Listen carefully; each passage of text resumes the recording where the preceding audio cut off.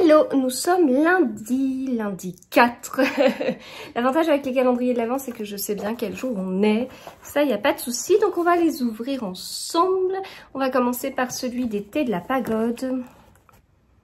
Numéro 4, ici. Oh là, y a... Je crois qu'il y a celui du dessus qui a dû tomber, là. J'en prends qu'un, je ne triche pas. Donc, on a du Tony Shy. Voilà. Tony Shy. Alors, qu'est-ce que ce thé?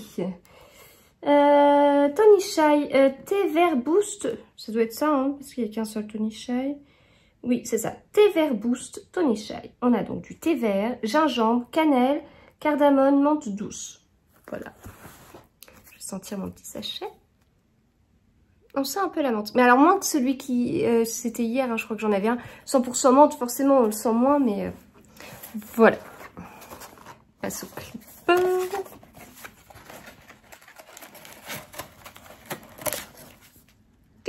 Alors, numéro 4, Skinny Vanilli, euh, mit Vanille, Natürlichen Erdbeer und Caramel. Oh, oh, bien ça. Rooibos, hibiscus, arôme naturel, vanille et caramel. Oh, c'est bien un rooibos vanille caramel. Alors, je comprends comme ça, mais il y a peut-être autre chose que j'ai pas lu. Oui, non, mais d'accord, il y a de l'hibiscus. Oui, Cacao châle. Pas mal, ça. Ouais. Bien, ce numéro 4. Euh, ensuite, palais d'été, palais d'été. Alors, sachant que le 2 était là, que le 1 était là, que le 3 était là, on va donc pas être sur cette partie-là. On mise sur les deux autres. Ouais, on est là. Alors, que je ne déchire pas tout le calendrier. Petit sachet. Ah mais en fait à chaque fois, c'est vrai qu'on a un petit, un petit mot à chaque fois. Ce qu'on nous avait dit au 1 et je ne lis pas. Alors, le 2, il y avait écrit « Quand je bois du thé, il n'y a que moi et le thé. Buvez votre thé lentement, avec révérence, sans vous précipiter vers l'avenir. Euh, Teach Nat Anne. Ok Numéro 3. Les rêves seuls valent la peine que l'on vive et les mire bourges. Ok Numéro 4. Faisons le thé chaque jour, à tout moment, dans notre cœur, avec pour inviter le monde entier, afin qu'il y règne un peu plus d'harmonie, de respect, de pureté et de sérénité. SJ sous tel euh, Voilà. C'est vrai que j'avais oublié qu'il y avait ça, alors que je trouve que le principe est très chouette. Et donc, nous avons un thé vert et riz grillé euh, Gain Matcha Yama du Japon. Hmm. Ensuite, ensuite, ensuite, mon thé rouge. Euh, je ne sais plus si je vous ai dit la différence entre les deux. Chaque fois, je me dis, il ah, faut que je vous dise, je vous le dise. C'est que là, en fait, il y a une certification Max Avelar sur le rouge et c'est pas le cas sur le blanc. Voilà. Je, sais que je voulais vous le dire et euh, je sais plus si je l'avais fait. Alors, numéro 4, ici. Voilà petite ouverture rapide. J'ai l'impression d'ouvrir beaucoup d'orange, non? Et nous avons euh, Pure Green Tea. Voilà, on peut pas faire plus simple. Pure Green Tea. on remet ça dans sa boîte. Et nous allons ouvrir pardon, le même en blanc.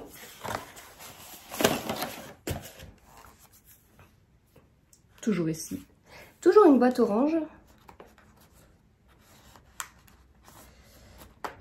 Ah, j'ai un peu plus de mal à, enlever ma petite case. Allez, viens avec moi. Hop Alors, bon, enfin, viens avec moi, puis j'ai démonté une petite partie du calendrier. C'est pas grave. Oh je, vois, euh, je vois la composition. Alors, nous avons quoi? Lemongrass, citrus and ginger. Je sais plus s'il y a plus de détails à l'arrière. Non, non, bah là c'est le curcuma, gingembre et citronnelle. Voilà. Contient de la réglisse. Ah, c'est pas mal ça.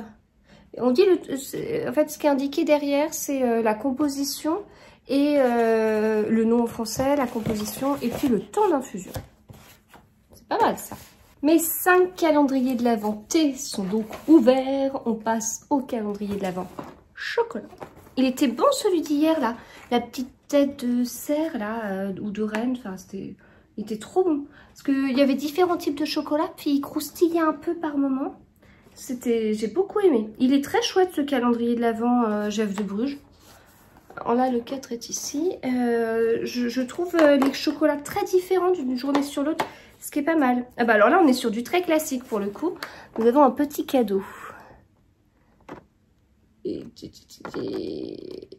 Ah, focus. Voilà. J'aime bien les, chocolats chef de, de Bruges. Chef de Bruges. Euh, j'aime bien. J'aime bien. Euh, voilà, même en, enfin, sur les petites boîtes chef de Bruges. Tout ça passe toujours très bien. On passe à celui-ci le numéro 4. Alors, qu'avons-nous? Parce que je suis quand même surprise depuis le début. Enfin, moi, je me remets toujours pas de ce que je vous ai dit par rapport à Karine Slaughter. Franchement, j'ai l'impression d'avoir... Euh, enfin, j'ai l'impression d'avoir euh, découvert l'autrice en une semaine d'intervalle, deux fois. deux fois en me disant, bah, c'est dingue quand même, je connais pas du tout l'autrice alors qu'elle est euh, censée être connue. Enfin, bref. Voilà. Alors.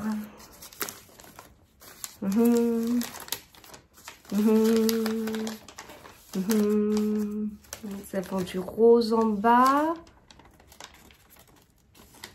Alors, passant, ça ne me dit rien du tout. Ne me dit rien du tout, du tout, du tout, du tout. Attention. Ça fait un peu Valentin. J'avais un Valentin Musso? Ah oui, ça fait très Valentin Musso, oui. Euh, enfin, avec ces, nouvelles couvertures. Mais oui, mais oui, c'est vrai. C'est vrai, j'avais mis un Valentin Musso. Parce qu'en fait, vous étiez euh, beaucoup à, me l'avoir conseillé, celui-ci.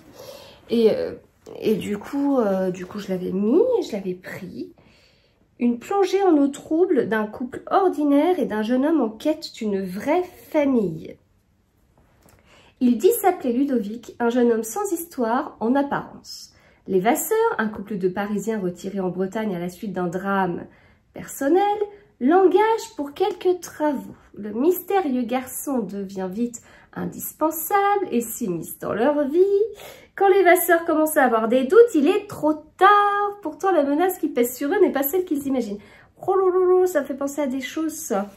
Ça me fait penser à des choses, ça me fait penser un peu à la partie... Euh, je vous avais dit que dans le troisième tome d'Anouk Schutterberg, euh, La Nuit des Fous, troisième tome de, sa série, euh, on, avait une double histoire thriller psychologique et, polar. Et ça fait penser à la partie thriller psychologique. Oh, tout, tout, tout. Pas mal, j'ai bien choisi, j'ai bien acheté. non, mais j'avais euh, dans ma wishlist, en général, c'est des livres où je me dis sur le moment, ça doit être pas mal parce que j'ai vu un avis quelque part, parce que vous me les avez conseillés. Euh, euh, voilà, enfin, souvent c'est pour l'une ou l'autre de ces raisons-là. Donc, donc oui, je confirme, ça a l'air pas mal du tout. Alors sinon, côté romance de l'avant, nous avons donc Un cœur pour Noël. On a donc lu hier avec ma grande le chapitre 3 c'est euh, bien, euh, voilà, j'aime bien, ça reste du young adulte, euh, ça reste une romance, on, avance bien pour l'instant, donc voilà, on est, on suit, ça se passe sur une journée, on a, on a donc Avril qui, qui, bah, qui sort un petit peu, qui a failli tomber à me donner, sa maman aurait été vraiment euh, très, comment dire, euh, ça l'aurait un peu, si la maman d'Avril savait ce qu'elle faisait là chez son papa, elle serait un peu stressée, je pense, mais voilà. Et alors, je pense avoir trouvé une bonne technique maintenant pour ouvrir mon livre. Et en fait, euh, on était habitué au roman de l'avant pour les enfants, qui était plus simple à ouvrir que au final cela. Et donc maintenant, enfin ce que j'ai fait hier, c'est que, parce qu'en fait on a plusieurs pages à, ouvrir euh, et non pas que la page extérieure. Non, elles sont toutes scellées. J'en suis assez surprise. Et au lieu de les ouvrir une par une, et eh bien, je les ouvre euh, en, en, en, en prenant plusieurs, enfin deux à chaque fois. Et en fait, je m'aperçois que je suis meilleure pour ouvrir la première moitié euh, du haut vers le bas. Donc, j'en prends deux, deux d'un coup, j'ouvre du haut vers le bas et ensuite je retourne mon livre. Comme ça, j'ouvre l'autre moitié à nouveau du haut vers le bas. Voilà. Donc, euh, hâte de continuer, euh, voilà. Et puis, euh, je vais juste vous parler de mon pull, de ce que je porte. Je porte un, pull qui s'appelle Trista de Jennifer Steingas, qui est une, créatrice de, de pulls principalement en jacquard que j'aime énormément. J'apprécie la créatrice et j'apprécie les pulls qu'elle crée. Et donc, j'ai tricoté le mien dans la qualité Let Lopi. Voilà, voilà, voilà. Voilà, voilà, voilà. Je, je, sais plus si j'avais pas fait des petites modifications pour mettre plus de couleurs. Et donc, euh, bah voilà. L'avantage de la Lopi, c'est que c'est une laine, euh, alors, islandaise.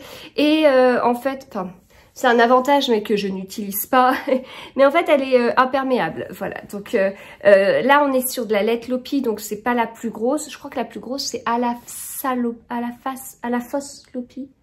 Enfin, bon, à vérifier. On a, on a de la laine encore plus épaisse que ça. Euh, genre qui se tricote avec 14 mailles pour 10 cm, enfin bref.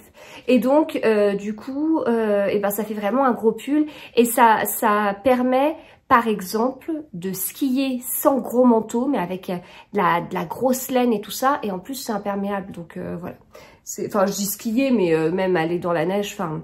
Donc voilà, alors c'est pas mon cas. je ne suis qu'en région parisienne, donc là, il a neigé hier il a neigé euh, 3 minutes et demie et euh, donc on n'a pas euh, trop ce cas euh, d'être souvent dehors sous la neige.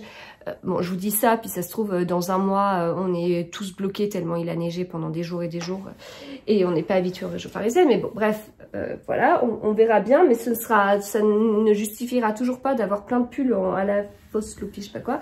Et donc là, la Lopi, alors elle euh, est rustique, elle a la réputation de gratouiller. Moi, de toute façon, j'ai toujours un t-shirt à manches longues sous mes pulls, donc euh, ça, ça gratte, ça gratte pas, je ne m'en rends pas compte. Euh, voilà, donc moi je l'aime bien, j'aime bien les couleurs. C'est juste que les manches sont un petit peu larges. en fait, il est, je trouve qu'au niveau du corps ça va, mais en fait les manches je les trouve un petit peu larges.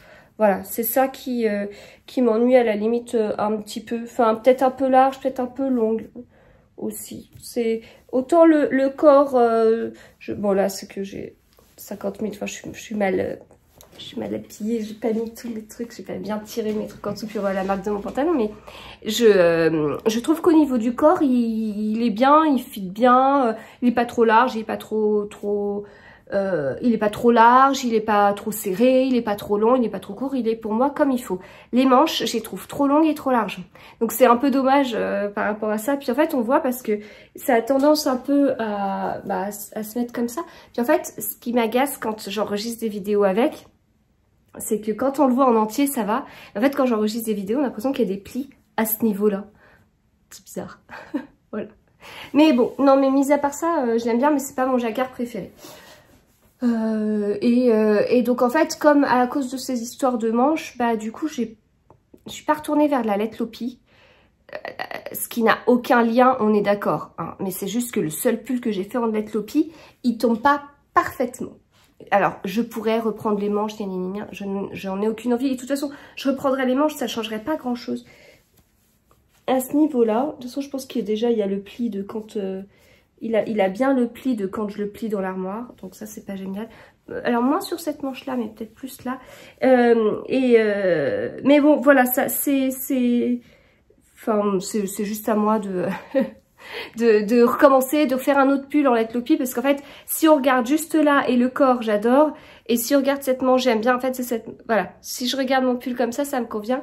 Si je regarde ce pull-là, le pull en comme ça, ça me convient un peu moins. Donc, euh, voilà, faut, faut que je vois. Faut que je... J'aimerais bien recommencer quand même de la lettre lopi mais à cause de ça, je me suis dit, oui, la lettre Lopi, j'en suis pas totalement convaincue, alors que la Lima, si, j'en suis convaincue. Et c'est là que je suis partie sur une immense folie de jacquard en Lima de Drops.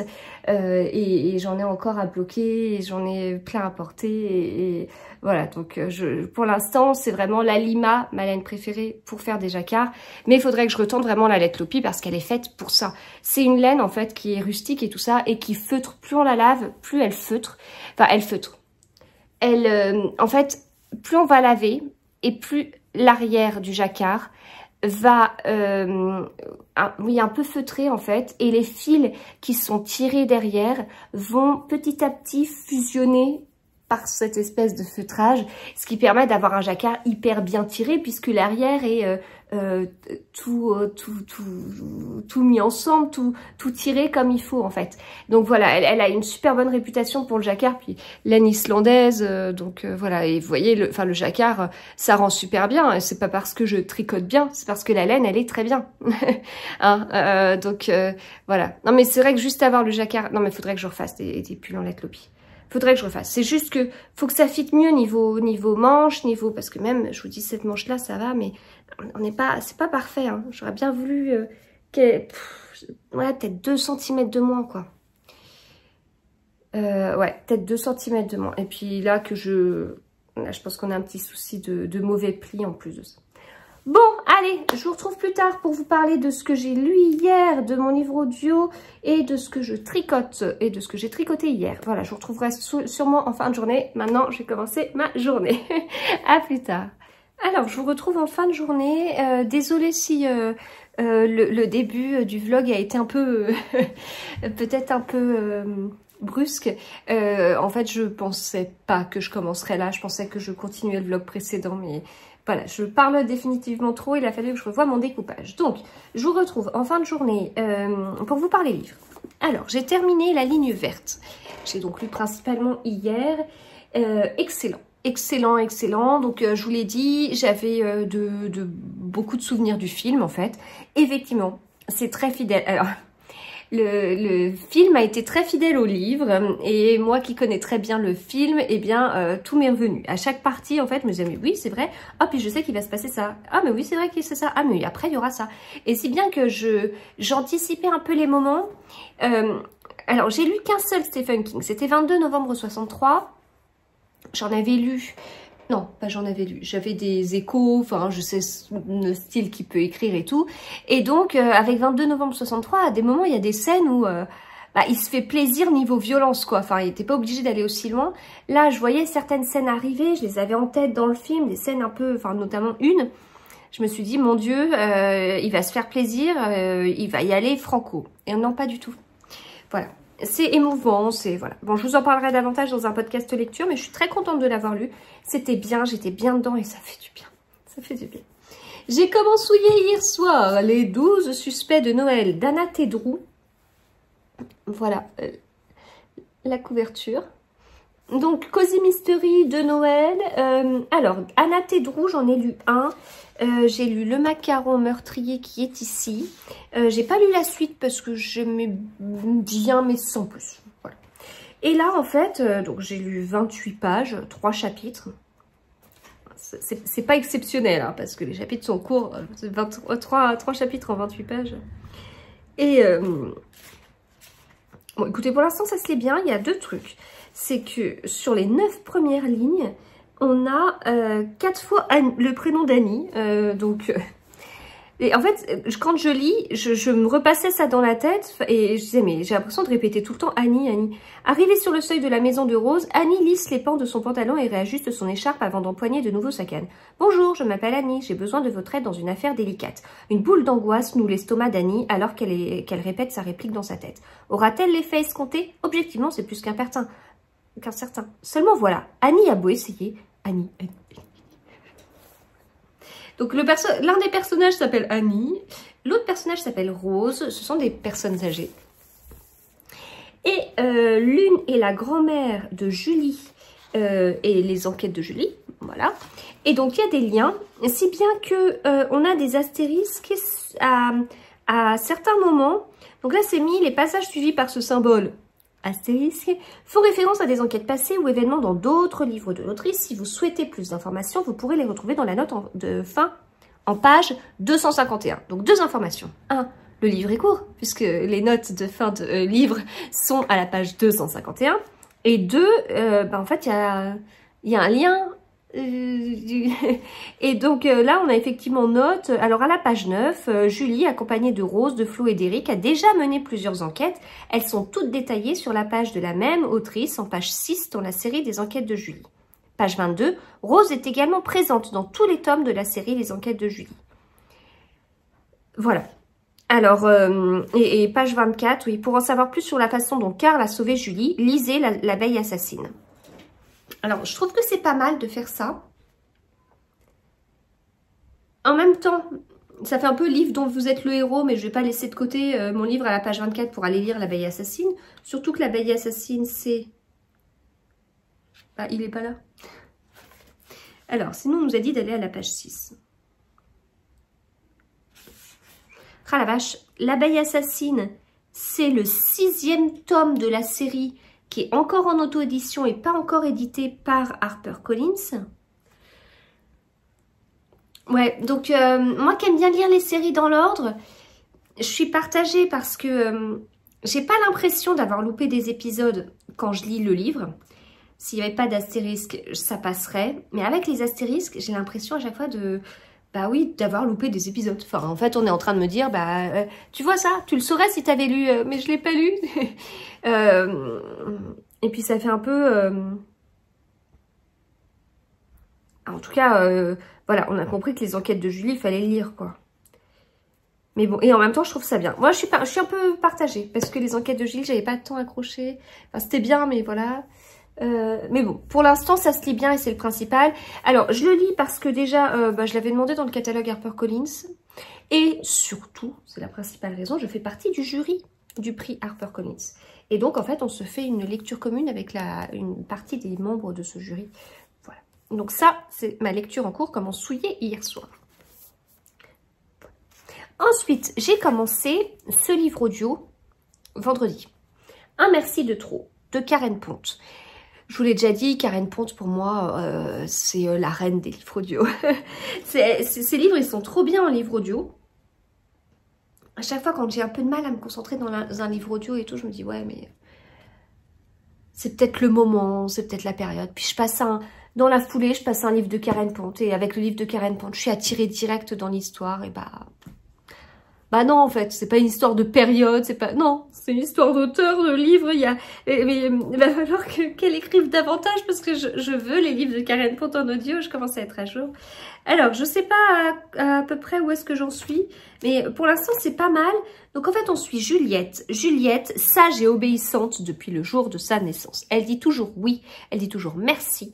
Et on lui dit, euh, quand elle était petite, elle voulait faire tel sport et sa maman, elle passe derrière, elle dit non, tu feras ça. Elle dit oui, d'accord, merci, je ferai ça comme sport. Et donc, elle grandit comme ça. Et en fait, là, elle, a presque 30 ans. Elle travaille dans une entreprise et euh, euh, elle voit. Alors, c'est la seule à pas avoir de promotion. elle, et elle se bien marcher dessus. Et elle dit oui, d'accord. Et on lui demande de faire quelque chose et ça lui va pas. Mais elle dit oui, bah d'accord, je vais le faire. Voilà.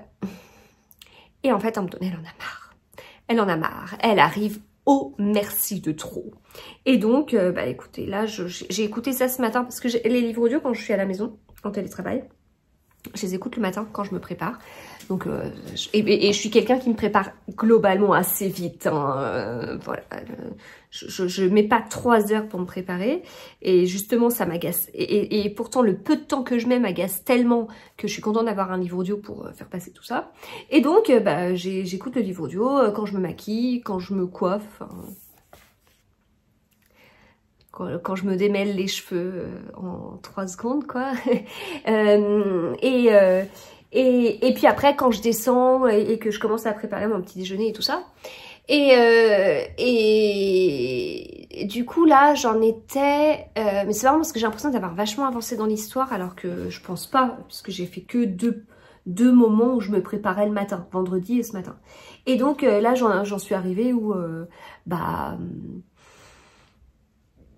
arrivée au merci trop, bah, elle s'énerve un petit peu trop au lieu de, s'affirmer et voilà et de, de, régler ses comptes et de s'arrêter elle règle ses comptes et, elle dépasse la limite et du coup voilà c'est assez explosif. Puis elle il se passe d'autres trucs dans sa vie. Voilà. Bon j'ai hâte. J'ai hâte de continuer avec ce que je vous dis. Je sais pas où est-ce que ça, ça correspond à quoi. Là je vois je suis dans le chapitre 3 mais ça je l'ai lu ça c'est sûr. Hop ah si, si, si, je suis dans le chapitre 3. C'est bon, j'ai retrouvé. J'ai retrouvé la discussion. Je suis dans le chapitre 3. Voilà, donc en fait, euh, oui, en deux matinées d'écoute, euh, j'ai lu ça. c'est pas énorme, je suis d'accord. Je suis d'accord, c'est un livre de 200 et quelques, 230 pages, ça peut se lire en une soirée. Euh, c'est assez aéré. Euh, euh, les chapitres commencent toujours à la même page, je crois. Oui, voilà, des fois il y a des pages blanches. Mais voilà, en audio, c'est parfait, c'est parfait, c'est parfait. Voilà, et bah écoutez, c'est tout pour aujourd'hui. Et du coup, bah on se retrouve demain. Alors on a reçu ça de la Rousse. Ils m'ont proposé de... Est-ce que ça me dit de participer à l'opération Noël compte à rebours? Bah, Je dis bah oui, ça me dit bien. Ok, bah j'espère que ça vous plaira. Ok et donc, alors attendez, je vais laisser tomber la feuille parce que je, je mes deux mains occupées. Hop Et voilà, on a reçu ça en roman graphique, les classiques en roman graphique de Roméo et Juliette. Enfin, classique en roman graphique avec ce titre Roméo et Juliette. Voilà. Et il est trop bien, quoi. Donc, euh, j'ai montré ça à ma grande et elle me dit, oh bah oui, euh, du coup, euh, ça me dit bien, trop bien. Ok, parfait. Je sais pas, j'ai hâte de voir quel est ce compte rebours, ça va être rigolo.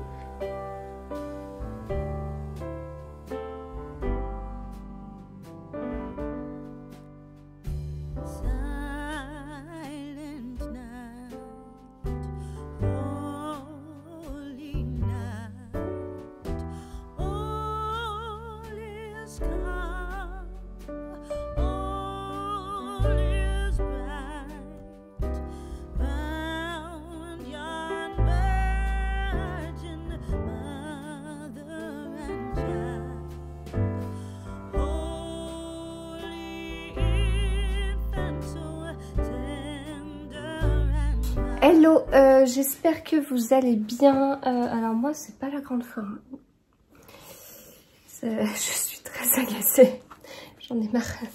J'ai l'impression d'enchaîner. Euh, soit je suis pas bien, soit je dors pas, soit je suis pas bien, soit... Enfin, faut, faut que ça s'arrête faut, faut, que, faut que ça s'arrête. Euh, je suis pas très en forme. Voilà, euh, donc ça m'inquiète un peu. On va voir.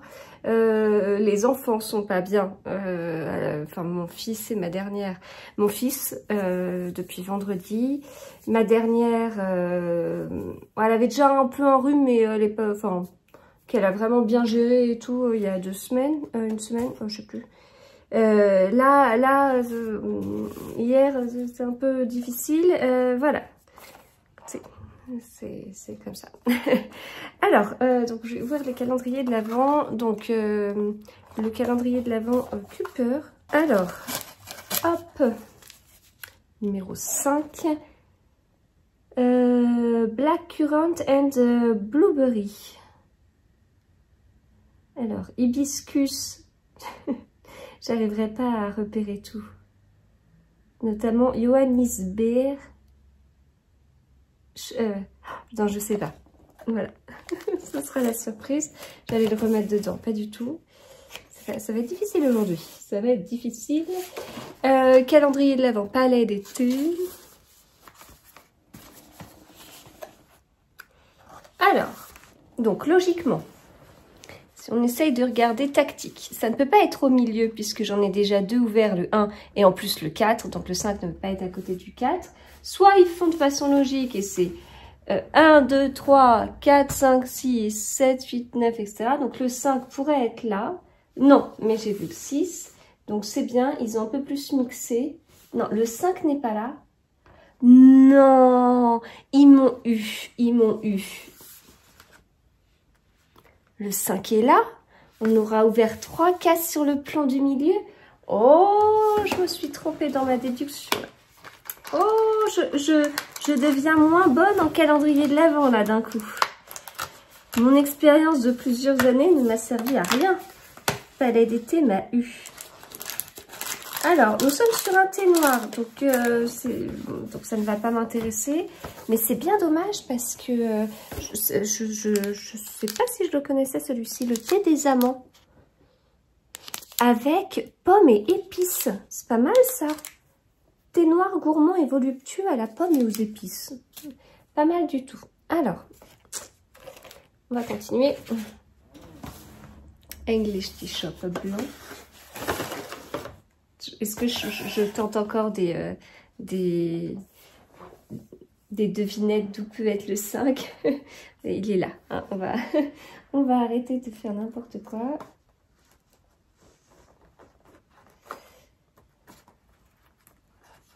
J'ai du mal à l'ouvrir. Donc ça, c'est le blanc. Je vais tout mettre à côté. Je me sens pas très douée ce matin. J'ai les jambes qui tremblent. Donc euh, voilà, et mes, bras sont pas très, sont pas très en forme non plus. voilà. Euh, numéro 5. On va pas faire des bêtises, on va pas tenter je ne sais quoi. Hein. on va essayer d'assurer avant que je fasse des catastrophes. Ah, la petite, étiquette est coincée. Alors, nous sommes sur Holiday Boost. Holiday Boost qui ressemble à ça. Ça sent bon, mais alors, dis donc, ça, ça ne me dit rien du tout de ce qu'il y a dedans. Holiday Boost.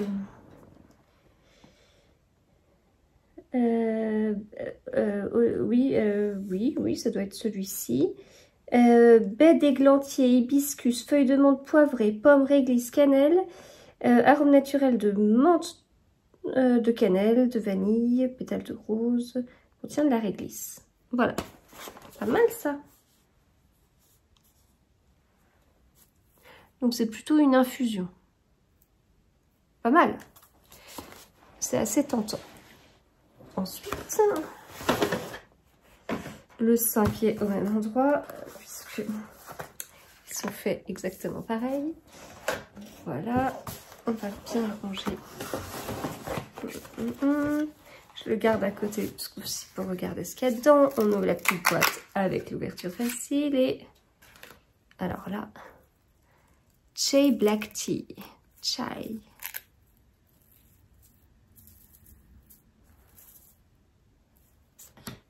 Hum, ah dis donc. Eh ben, il sent vachement. Alors, Chai Black Tea.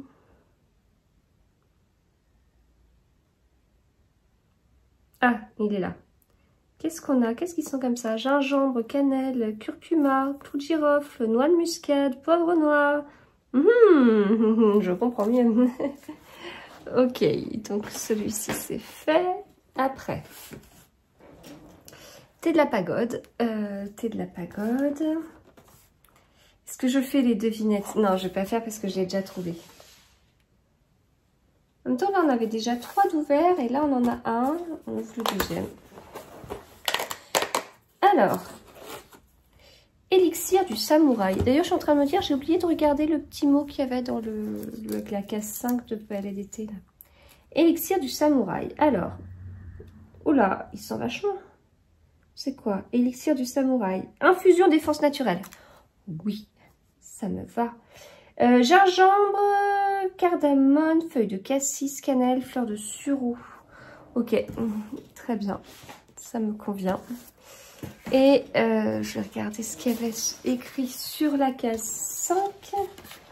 Celui qui déplace la montagne, c'est celui qui commence à enlever les petites pierres. Confucius. Mhm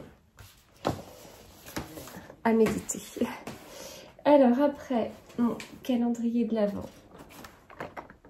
Chocolat. Alors c'est bien, mais alors c'est trop peu.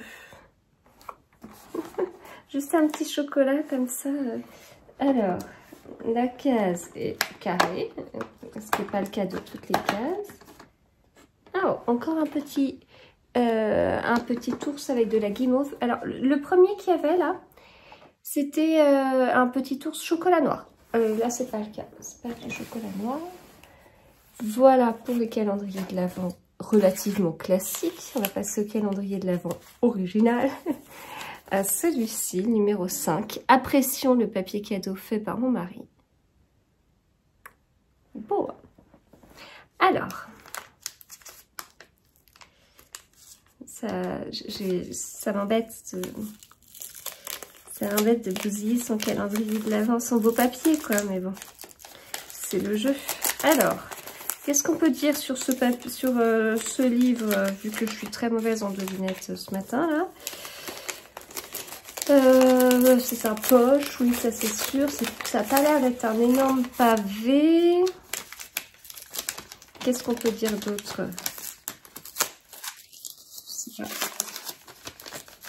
Ça n'a pas l'air d'être un énorme pavé.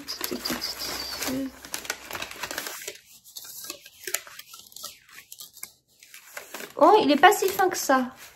Alors, si j'essaye de voir comme ça... Ah. Eh mais non, en fait, c'est un... C'est pas un poche. Ah bah j'ai pas fait gaffe, c'est pas un poche, c'est un semi-broché. Et j'ai vraiment un gros indice là. Euh, nous sommes sur un Amish Macbeth.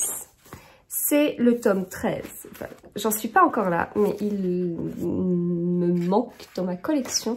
Et comme je compte lire tous les Amish Macbeth, et ben voilà, c'est fait. Je l'ai. Parce que de toute façon, je le lirai... Euh, je sais plus combien je suis. Je pense que je dois lire le 8 là. Donc... Euh, je pense que je dois lire le 8. Donc je vais y arriver assez vite. Hein. Parce que dans la battle que j'organise... Euh, la battle que j'organise euh, Agatha Raisin versus Amish Macbeth, euh, au final, eh bien, je lis que du Amish Macbeth. voilà. J'avais prévu de lire un sur deux et en fait, plus j'avance dans Amish Macbeth, plus je trouve ça bon mais c'est très bon, vraiment. Et euh, en fait, on est de moins en moins, pour moi, on est de moins en moins sur des cosy mystery. Euh, enfin, voilà, je sais pas. On est sur des, romans policiers un peu légers. Mais, euh, mais Cozy euh, je sais pas. Le dernier, j'ai l'impression d'être dans un Agatha Christie, mais un peu plus léger. Mais vraiment un peu plus. On, on sentait vraiment l'influence Agatha Christie. C'était très très bien. Voilà. Oh la vache, je, J'espère réussir à tenir la journée. J'ai mal à la gorge, de plus en plus mal à la gorge. Et, euh, le truc, c'est que si je reporte à plus tard la suite tout ce que j'ai enregistré, ça se trouve le plus tard n'arrivera pas et je serai vraiment KO. Euh, bon, je vais vous parler du livre que j'ai terminé. Donc hier soir j'ai fini ce livre, plein de marque-pages parce que dans ma lecture eh ben, je ne me suis pas interrompue pour, euh, pour noter les citations mais il y en a euh, que j'ai notées. Donc euh, comme c'est mis derrière une affaire classée, un nouveau crime et mamie en quête, c'était pas fou fou, c'était cosy, c'était pas trop mal mais c'était pas fou. Voilà, c'est pas un livre que je retiendrai. Euh, il se lit relativement vite, mais il est super court, de 149 pages. Euh, et euh, donc c'est assez original parce que c'est effectivement deux mamies qu'enquête et tout. Le seul truc, c'est que moi qui aime bien lire les livres dans, dans un certain ordre et tout, là, ok, c'est une série à part de la série Les Enquêtes de Julie, mais il y a tellement de références aux Enquêtes de Julie qu'on a l'impression vraiment d'avoir loupé un train, voire même 50 trains, parce qu'il y a, enfin, en tout cas, il y a six tomes, c'est ce que je vous avais dit, je crois 6 tomes. Euh, non, plus. Attendez. Non, il y a 7 tomes. Bon, bah, voilà, on a loupé 7 trains. Et on, le sent. Alors, ça n'empêche pas de comprendre. On n'a pas l'impression... Euh, enfin, il y a des petites références a priori au tome précédent, puisque on, nous les mentionne. Mais euh, on nous mentionne les références au tome précédent mais euh, on n'a pas, on peut suivre quand même. Et donc ça, ok, ça va, mais c'est juste que euh, on, on, nous dit ah bah si comme la dernière fois quand ils se sont vus, euh, si bah oui mais on veut savoir en fait, enfin en disant qu'il s'est passé des choses euh, euh et on, on c'est enfin je sais pas, c'est comme si on arrive dans un groupe de personnes et on voit bien qu'ils se connaissent tous parce qu'ils font référence à la dernière fois où ils se sont vus. Et nous on n'était pas là. Et, et voilà il n'y a pas de souci, on peut quand même passer un bon moment et tout ça. Mais euh, c'est vrai que là, en l'occurrence, on a la possibilité d'avoir euh, de suivre les choses avant et j'aurais préféré le faire, même si bah, j'avais pas tant accroché que ça euh, au tome 1. Là, je le lis dans le cadre de... parce que, je, comme je disais, je, suis, je fais partie du jury. J'allais pas rattraper 7 tomes, surtout que certains sont auto-édités, en fait. Donc, les, les, premiers chez HarperCollins, ok, mais ceux qui sont auto-édités, c'est déjà plus compliqué. Euh, voilà, euh, il y a des petites choses autour de la mafia, on est sur une cold case, c'est original que ce soit des mamies qui enquêtent, euh, voilà, euh, bon globalement positif, mais il y a cette histoire de de donc d'avoir l'impression d'avoir manqué des épisodes, et puis il y a un petit truc aussi, mais en même temps la couverture dit tout, mais bon, quand on voit cette couverture, qui est certes très jolie, hein, qu'est-ce qu'on voit? On voit une super décoration Noël, on voit une boule de Noël et c'est écrit Noël. Donc on s'attend à ce que ça se passe à Noël. Bah oui, mais en fait, euh, on les voit décorer un sapin sur une page, quoi. Enfin, sur 249 pages, l'ambiance de Noël, elle est vraiment pas beaucoup présente. Alors, il y a un autre indice, c'est qu'en fait, il y a deux mamies. Donc ça, c'est totalement vrai. Il y a deux mamies qui sont sur la côte. Et en fait, les deux mamies, bon, bah, on peut se dire, sur la côte, il doit faire beau, elles sont certainement habillées en hiver sur la côte. Oui, effectivement, ça se passe dans le sud de la France.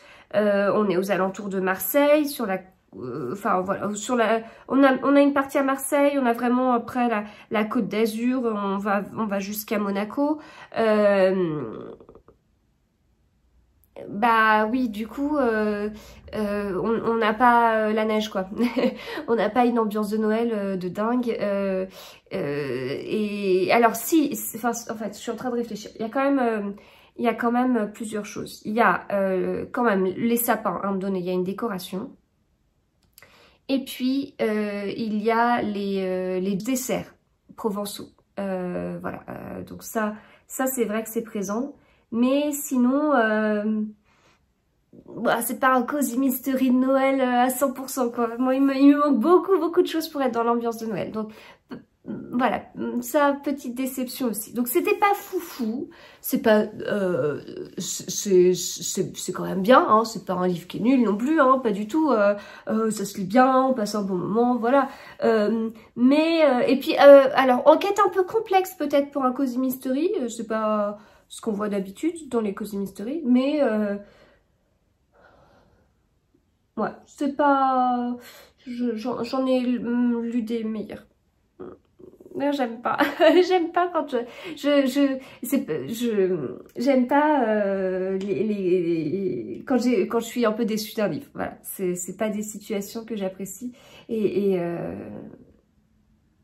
j'ai eu des lectures dingues ces derniers temps.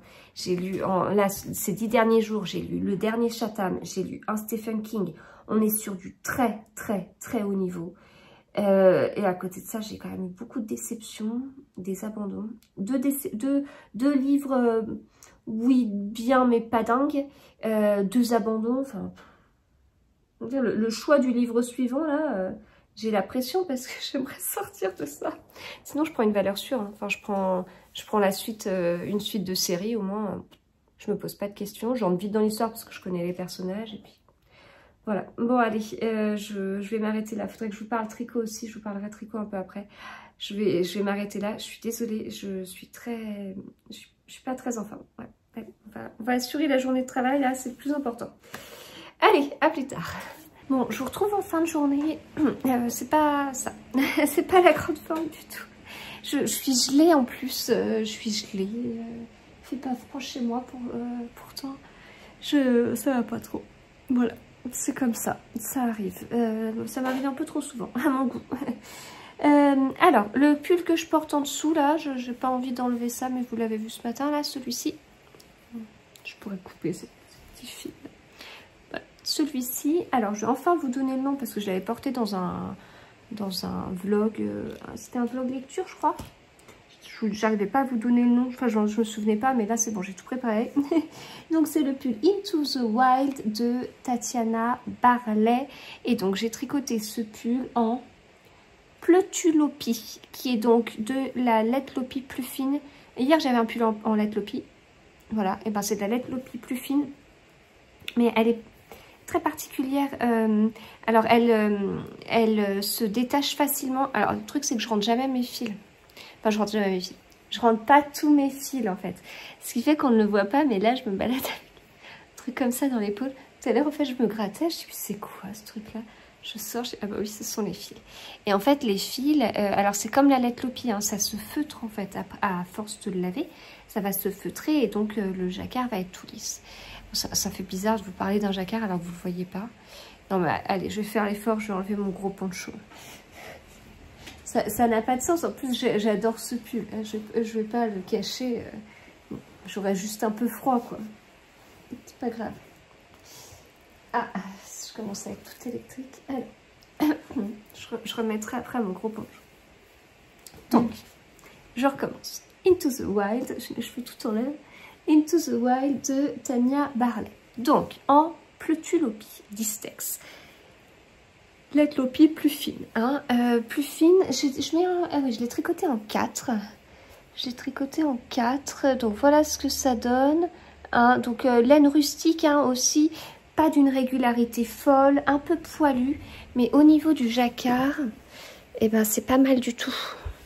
Donc c'est pas d'une régularité folle, hein, vous le voyez. Hein, c'est euh, c'est pas parce que je tricote pas bien. non mais le fil il est pas tourne. Et justement, il est méché. Et c'est là où je voulais en venir avec ces, ça, ce sont mes, petits secrets. Les choses. J'aime pas dire euh, que je rentre pas mes fils. Bien sûr que je rentre les fils ici. J'ai pas le choix. Mais euh, quand il y a du jacquard, c'est bon. Qui, je veux dire, qui le saura? Bah, à vous maintenant. Mais, euh, hein. Donc, si vous me voyez un jour avec ce pull, n'hésitez pas à, à, me demander est-ce que je vous montre mon secret. Et donc, les fils, voilà. En fait, ils sont très fins, ils sont un peu méchés. Et c'est au point où... Alors, est-ce que je vais le faire Il faut que j'arrive à le faire de façon intelligente. Il commence déjà un peu à feutrer. Mais pour pas euh, bousiller mon pull, mais en fait... Voilà. Voilà. Vous imaginez le truc?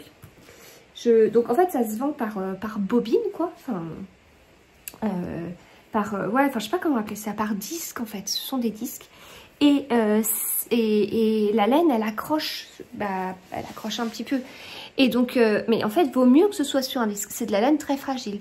Et en fait, bah, quand on tire le, si on tire d'un coup, bah, je sais pas là, je suis, sur ma pelote, je tire d'un coup, bah, ça, ça va. Là, si je tire d'un coup et qu'en fait, bah, pour X raison, les fils sont accrochés avec les fils précédents, je tire d'un coup pour avoir la laine et euh, je viens de casser mon fil, je fais quoi? Et bah, et bah, je fais quoi? Bah, je, je, fais un nœud et je, je reprends quoi. Donc euh, là, sur toute la partie là, bah, en fait, il y a plusieurs fois où j'ai cassé mon fil parce que j'ai trop tiré. Enfin, j'ai trop tiré. c'est bon, hein. enfin, c'est pas normal non plus, hein, mais euh, voilà, c'est de la laine qui est fragile. Donc, euh, et, et, j'avais passé beaucoup de temps à choisir les couleurs parce que je voulais pas les couleurs du modèle. Parce que c'est bon, enfin, c'est un peu dommage quoi de prendre les couleurs du modèle. Euh, euh, pour un jacquard, c'est dommage. Bon, des fois, ça m'arrive de le faire. Mais j'essaye au maximum de changer. Je vous dis ça, je crois que le pull que j'avais hier, j'ai pris les couleurs du modèle. Mais c'est parce qu'on était sur un mélange caramel. Non, c'est pas vrai. J'ai pas pris les, couleurs du modèle parce que j'avais mis un vert particulier qui est trop beau, qui est trop beau. Et, euh, et ça, c'était pas le cas. Et puis j'aime bien le mélange euh, caramel avec le gris parce que c'est d'habitude c'est soit on va vers des dégradés de, caramel, marron, enfin je veux dire pour le beige là, soit on part sur du beige, soit on part sur du gris clair. Et là j'aimais bien le côté de mélanger la partie marron avec la partie euh, gris noir. Bref, c'est mes, amusements personnels. Mais euh, donc j'avais passé du temps à choisir les couleurs. J'étais vraiment partie sur du bleu et du orange. Et en fait, à la base, c'était même un orange plus foncé que ça, mais la, couleur était plus disponible. J'ai passé un temps fou à, trouver le site où il y avait toutes les couleurs disponibles euh, que je voulais, euh, parce que j'avais pas acheté euh, le bleu à tel endroit, payer les frais d'envoi, et puis le orange à tel autre endroit, et puis ah, c'est bon quoi. Donc j'ai tout acheté. J'ai tout acheté au même endroit et donc bah, il n'y avait plus le fameux orange là donc j'ai pris du orange qui était un peu flashouille. Et puis, euh, quand même, euh, il se voit quoi. Et puis, euh, c'est parti sur un bleu plus clair. Et là, je me suis dit, oh là là, j'ai l'impression de faire un pull layette pour petit garçon. alors je dis petit garçon parce qu'on était vraiment sur un bleu layette, mais on peut tout à fait mettre du bleu à des filles. Hein. J'ai aucun souci avec ça. D'ailleurs une fille dont la couleur préférée est le bleu. Donc aucun problème. Euh, mais c'est vrai quand ils sont petits, enfin bon, je, je sais pas vous, mais euh, euh, moi quand les enfants étaient vraiment bébés, quand mes filles étaient vraiment bébés et qu'on arrive et qu'on me dit oh le petit garçon, non c'est une fille quoi. Donc je, je, mettais pas forcément du bleu layette quand quand on voyait pas quand c'était des filles. Euh, et donc euh, tout ça pour vous dire que j'ai eu du mal à trouver, ouais, parce qu'en fait j'étais sur un beau bleu, bleu layette avec orange, avec des renards, donc tout. je, me faisais un pull enfant. Et puis bah non, et bah j'ai fait celui-ci. Et puis bah j'ai pris ça, ce bleu qui fait un peu jean. Et puis bah j'aime bien. Voilà, j'étais pas tout à fait convaincue, j'avais, je craignais, comme je vous dis, le côté très enfantin. Mais en fait, euh, j'aime bien ce pull. Voilà, Alors, en fait, je crois que je vais vous raconter cette histoire-là à chaque fois que je vais le porter. Et c'est pas fini. C'est vraiment pas fini. Et donc, en même temps, ça me fait du bien. C'est le meilleur médicament. Bizarrement, j'ai plus mal à la gorge pour parler de mon pull renard. Alors, euh, bon, euh, l'autre pull, c'est un peu la catastrophe. Euh, de vous montrer ça, c'est un peu compliqué. C'est un petit peu compliqué. Alors, je suis dans le bas du corps. Je dois aller jusqu'à 27 cm. J'approche. Oh, je dois être à 26. Voilà. Je dois être à 26 cm sous l'emmanchure. Donc, ça avance. J'ai toujours mon col bizarroïde, là. voilà. Voilà. Et puis, euh, j'ai donc mes Pères Noël. Mais ça, m'agace un peu. Ça a fait ça. Je vous ai montré un modèle comme ça. Je vous ai montré un jacquard il n'y a pas longtemps. Pareil, ça faisait tout recroquevillé. Euh, en fait, on est euh, là, quand je tricote du jacquard comme ça, les points, vous voyez, ils, alternent de rang en rang. Donc là, par exemple, là où il y avait un point noir, et eh ben en dessous, il y a un point blanc, et en dessous, il y a un point noir. Donc, j'ai pas un bloc que de noir, que de blanc. Enfin, si là, là, j'ai un bloc, j'ai toute une colonne, mais ça reste une colonne d'une maille, euh, au milieu de... Euh, alors soit c'est une maille, soit c'est trois mailles, soit c'est une maille, soit c'est trois mailles, enfin bref. Voilà, c'est un peu noyé dans la masse. Là, le orange, il est jamais au même endroit. Enfin voilà, tout ça, du coup, ça se lisse, c'est comme ça d'habitude le jacquard, il n'y a pas de souci. Là, on est vraiment sur des colonnes en fait. Donc c'est-à-dire que le gris entre deux Père Noël, le gris, il est quasiment toujours la même dimension sur autant de mailles. Ce qui fait que, eh ben, ça se recroqueville. J'aurais eu, euh, là, sur le gris, j'aurais eu du rouge de temps en temps, bah, ça aurait plus lissé. Voilà.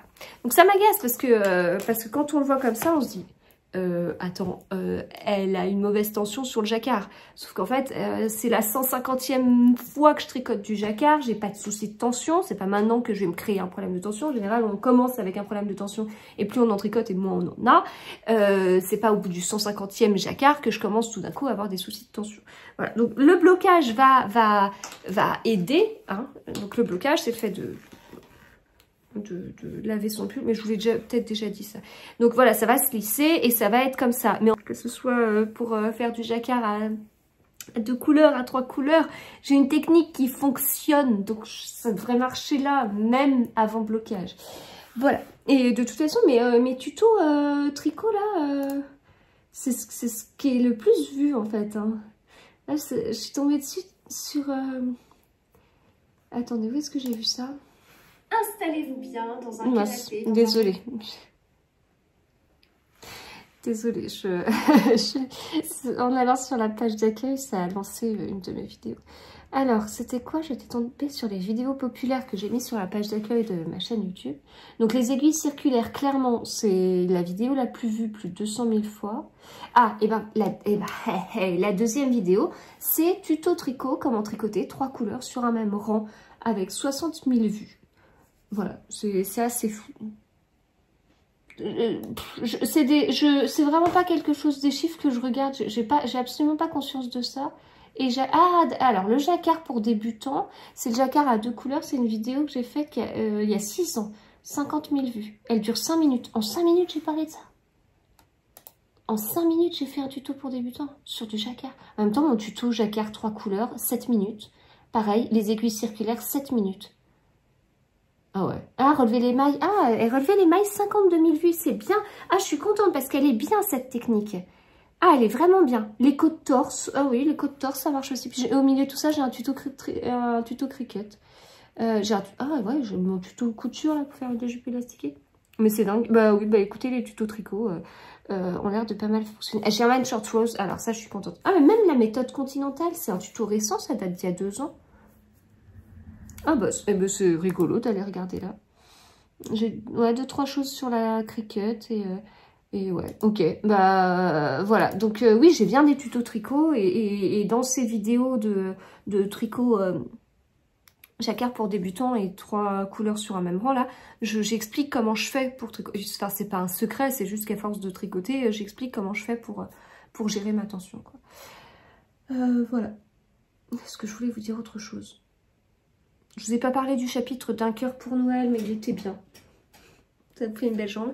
Non, il était bien, c'est bien. Euh, c'est assez agréable euh, à, lire et tout ça. Moi, j'aime bien. Puis c'est un moment qu'on partage avec ma grande. C'est la première fois qu'on lit en même temps, un livre en même temps, chapitre par chapitre. Vraiment, on le lit en même temps. On peut pas le lire plus en même temps que ça. Euh, et puis, donc j'ai fini hier les 12 suspects pour Noël d'Anna Tétro. Mais ça, je sais que je vous l'ai dit. Je perds la tête mais pas à ce point-là. Et du coup, j'hésite pour ma lecture suivante. Je fais une petite sélection de 5 livres pour l'instant. Est-ce que je me limite à 5 parce que j'hésite encore avec d'autres? Je sais pas. Euh, donc, j'ai fait une sélection de 5 livres. Dedans, on a le prochain tome de Jacques Sausset.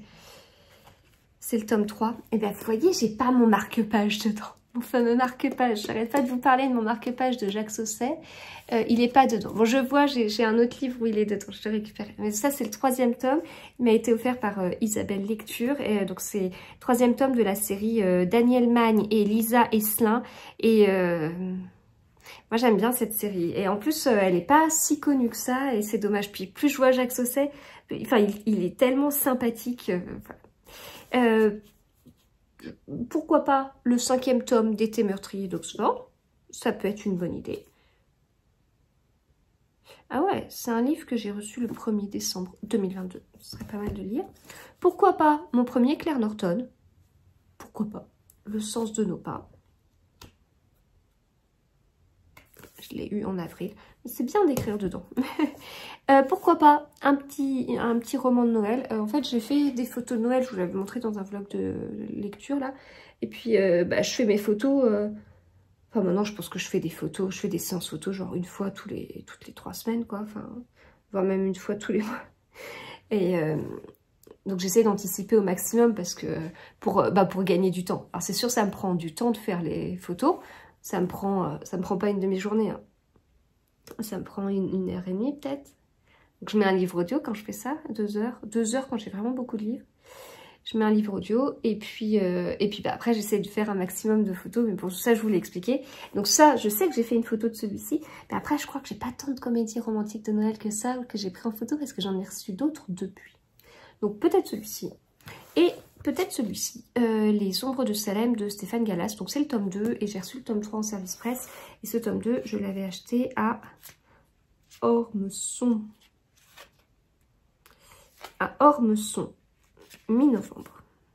Donc j'hésite entre ces trois-là. Euh, est-ce que j'en ajoute d'autres peut-être? Euh, Je sais pas. Oh Fatiguée. je sais pas. Mais du coup, comme j'hésite, et eh ben, je vais faire voter mes enfants. Ça, j'aime bien. J'aime bien faire comme ça. Euh, voilà, bon bah écoutez, c'est tout ce que j'avais à vous dire.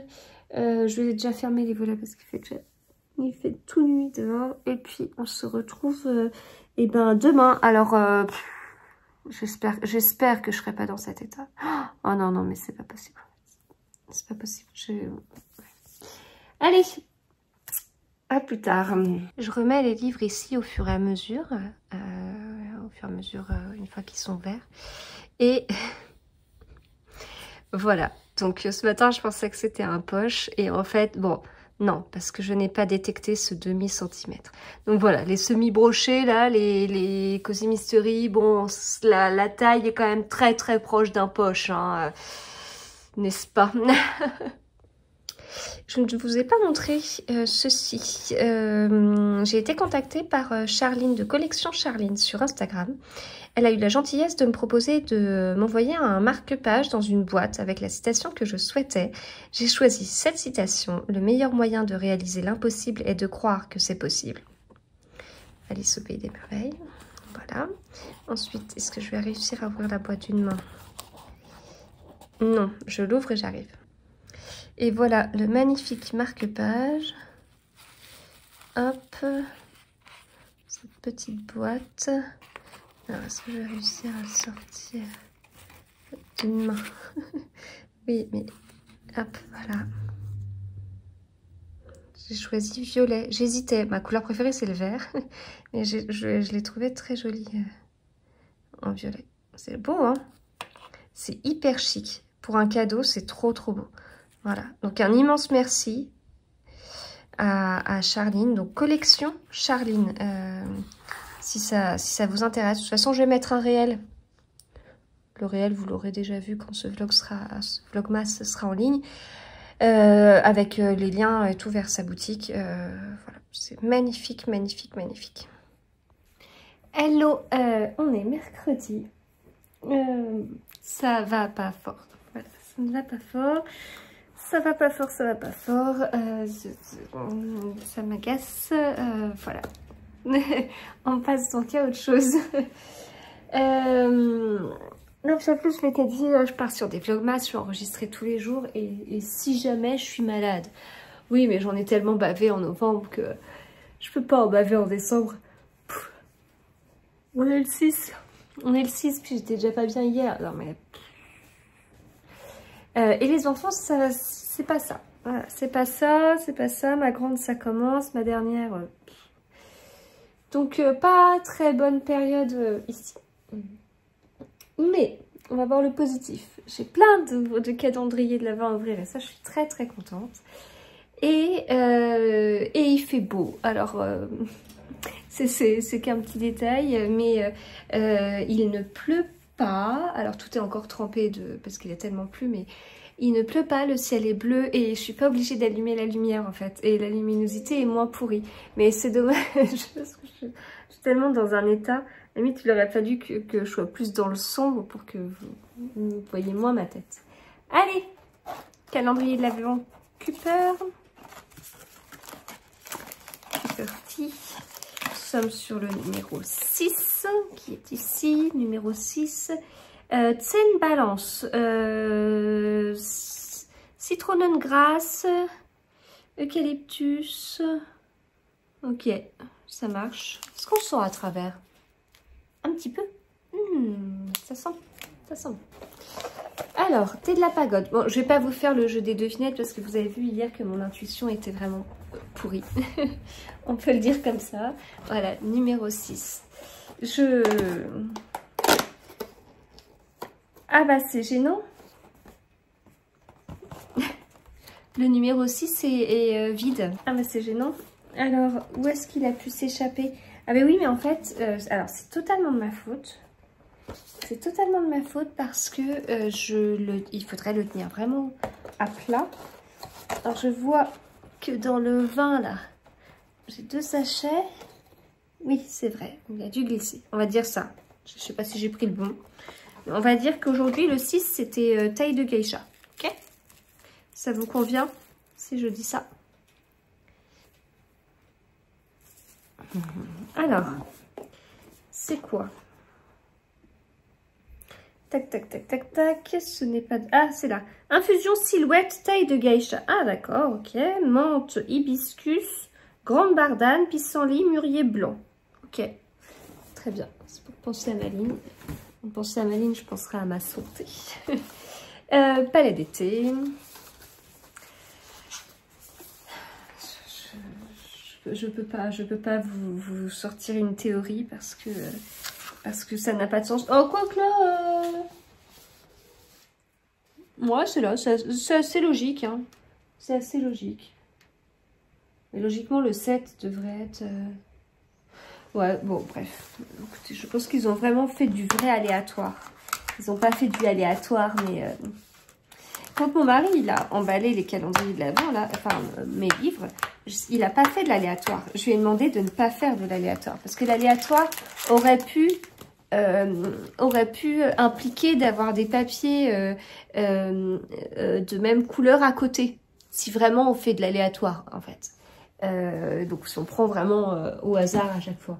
Mais, mais je voulais pas. Donc c'est c'est de l'aléatoire forcé quoi. Enfin, mais c'est c'est quelque chose que une pratique que je vais souvent faire. Enfin, même là par exemple pour les pour le sapin. Bon, on met les boules où on veut, mais euh, c'est bien quand même que le hasard euh, ne mette pas euh, toute une grosse masse de boules rouges d'un côté et une grosse masse de boules dorées d'un autre. Le hasard pourrait amener à ça. Mais on va contrôler un petit peu le hasard. Bon, bah je pense que dans le calendrier de palais de palais d'été, ils ont vraiment laissé le hasard sans contrôler le hasard. c'est du vrai hasard, du vrai. C'est du vrai aléatoire. Allez, thé des songes. Il est très bon celui-ci, je le connais déjà. Thé des songes, eau longue, fleurs et citron. Voilà. Il est très bon. Même si maintenant je ne peux plus trop en boire, il est très bon. Alors, qu'est-ce qu'on nous disait sur la petite fenêtre? Le voyage est une espèce de porte par où l'on sort de la réalité comme pour pénétrer dans une réalité inexplorée qui semble un rêve qui de mots passants. C'est beau. Ensuite, mes petits calendriers de l'avant English Tea Shop. Ils sont très doux en fait, je vous l'ai pas dit, mais euh, à chaque fois que je les ouvre, c'est très agréable de, toucher cette matière. C'est comme les couvertures de certains livres. Euh, y a, alors, c'est une matière qu'on ressent de plus en plus euh, sur les grands formats. Euh, je me demande si c'est pas lié au, à, je sais pas, des, des, papiers un peu éco, moins coûteux, au moins financièrement. Après l'environnement, je ne sais pas. Je, je, je peux pas vous dire, mais, mais je trouve que c'est c'est une matière qu'on a beaucoup plus et c'est très agréable. Écoutez, si, si l'avenir c'est ça pour économiser, moi je dis oui. Alors, Numéro 6, ouverture facile. Et nous avons euh, lemongrass, citrus, ginger. Voilà, ça sent. Et puis, le jumeau, le jumeau blanc. 6. Franchement, il a déjà pris une bonne claque, le calendrier. Hein. On est déjà le 6.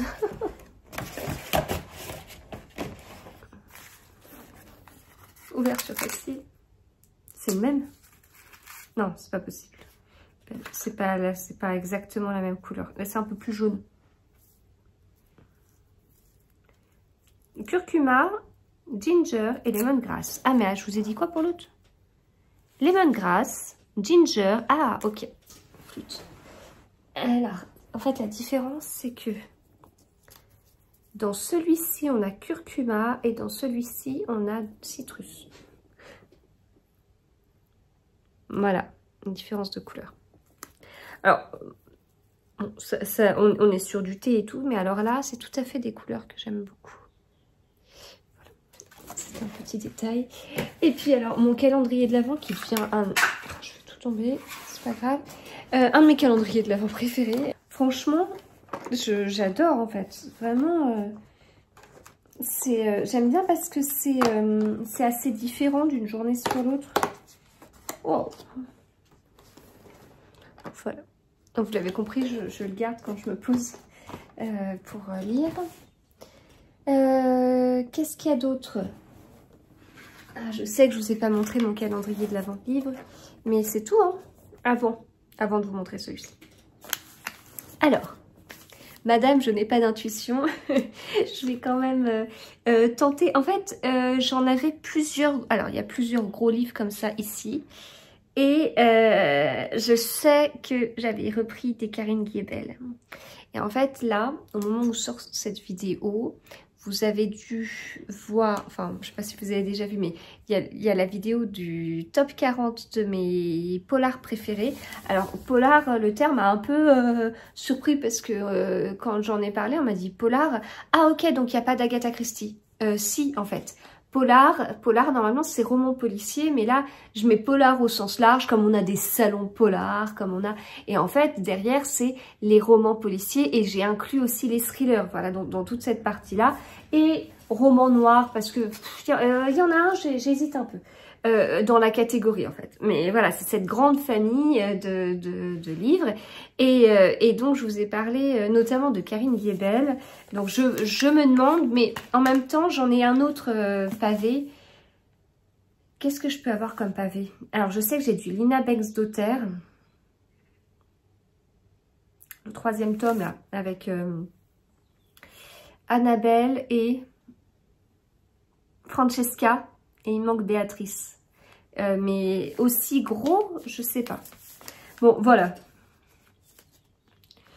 Et après, bah, les autres, j'ai oublié. C'est triste. En fait, j'ai vraiment trop de choses. donc, je fais une sélection de ce que je conserve dans ma mémoire. Et là, surtout, surtout, j'ai bien enlevé de ma mémoire les livres pour être surprise. ah, j'ai fait une sélection, hein. j'ai libéré mon esprit, hein. je peux pas tout retenir. Bon, j'enlève le papier, mais il était vraiment très bien. Encore une fois, je remercie mon mari pour ça. Alors, qu'avons-nous? On est sur du pocket. On est sur du pocket, du, du pocket récent. C'est moi qui ai acheté les livres, ça ne me donne aucun indice.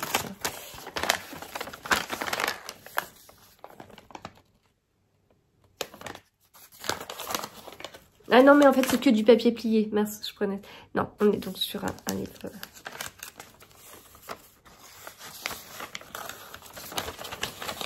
Non, non, toujours pas. Il y a écrit quoi Avez-vous déjà... Ah, si, si, si, si, si, si, si, si, si, si, si, si, alors là, je l'avais oublié. Euh, non, mais j'y ai pensé il n'y a pas longtemps. Mais, euh, euh, ah ouais, 900 pages, on est sur du 900 pages. oui, c'est... Oh la vache, mais vous me prenez pour une folle. Je suis, complètement super contente des livres que je, me suis moi-même acheté. mais comme quoi ça marche. Ça marche, ça marche. C'est le principal. c'est Ludivine des lectures du chapitre. En fait, je discutais avec elle Alors, peut-être de Chatham, effectivement. Et puis, en fait, je... pardon, je le disais que j'avais... Euh, je... je lui disais que j'avais envie, enfin que ça faisait longtemps que j'avais pas lu un livre qui me faisait vraiment frissonner en fait, euh, avoir peur quelque part et tout ça. Et puis on parlait, on devait parler en même temps de Chatham, je pense, euh, bref. Et elle m'a dit, ah bah le signal. Ah mais le signal, le signal de Chatham, le signal. Ok J'étais convaincue que je l'avais à la maison. Puis le soir, je crois que c'était à l'événement très à table dont on, qu'on avait parlé de ça. Puis le soir, je rentre et je, regarde et je dis, bah, en fait, non, j'ai pas le signal. Pourtant, des Chatham, euh, je, vous en ai parlé, j'en ai vraiment beaucoup. Hein, euh, euh, j'en ai plus d'une dizaine à la maison. bon, c'est même pas la moitié de ce qu'il a écrit, mais c'est déjà pas mal. Et ben non, en fait, je l'avais pas. On en a peut-être même... Ouais, on en a plus d'une dizaine, je pense qu'on doit en avoir environ 15-16 quoi. Alors si je vous lis la quatrième, que j'avais pas encore lu pour me garder la surprise, ah mais je, m'auto-suffis, j'arrive moi-même à, m'offrir des trucs et à être oh, euh, super surprise quoi.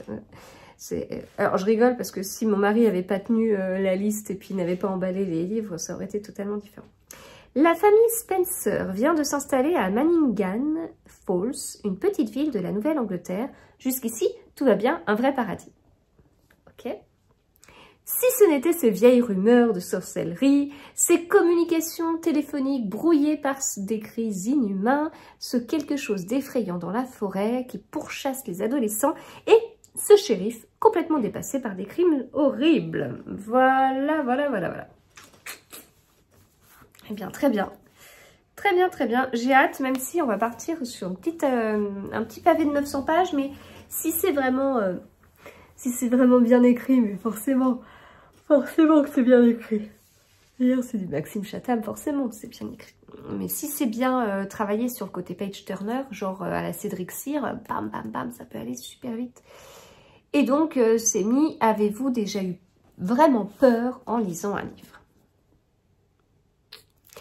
Et donc, je vous disais, ça fait un moment que j'ai pas eu un peu cette peur. Alors, dans, euh, le top 40 des livres euh, des polars, là, je suis revenue sur certains, justement.